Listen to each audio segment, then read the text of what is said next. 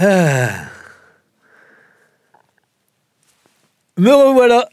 Eh oui, je suis sorti du, du, du quoi du, oh, Comment on appelle ça? Oh merde.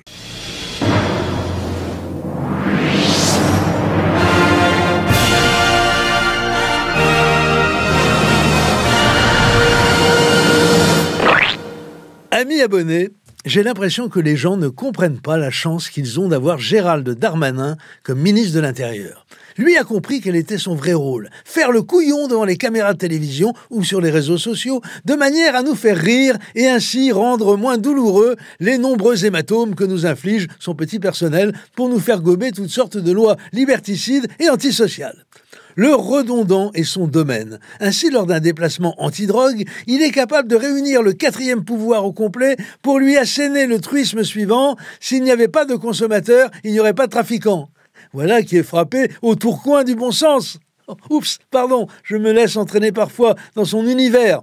Le darmanisme est un style aux intonations clairement place-boviste, agrémenté d'une pointe de cette fantaisie sarkozienne qui nous enchanta tant d'années durant. Alors s'il y en a que ça les démange d'augmenter les impôts, ils oublient qu'on est dans une compétition. Cette rentrée scolaire est marquée évidemment du saut très difficile euh, de la mort ignoble de M. Paty. Qu'est-ce que je m'aperçois? Eh bien aujourd'hui nous avons expulsé, j'en suis euh, désormais, si je puis me permettre, à 16 euh, depuis un mois, depuis le moment où j'ai rendu ce chiffre public, 16 personnes qui ont été confondues de radicalisation. Mais ils étaient colères les gens, c'est normal pour assister à des réunions sur la sécurité de nos compatriotes, je peux vous assurer qu'il a euh, un déterminisme, pardon, une détermination, pardon, une détermination euh, à, tout, à toute épreuve.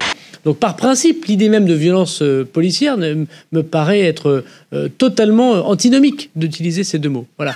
Antinomique, antinomique. À votre place, monsieur le ministre, je n'utiliserai pas antinomique, ça fait un peu prétentieux. Essayez contradictoire, par exemple. Pas contradictoire, contradictoire, parfois contradictoire. C'est mieux, hein? Eh oui.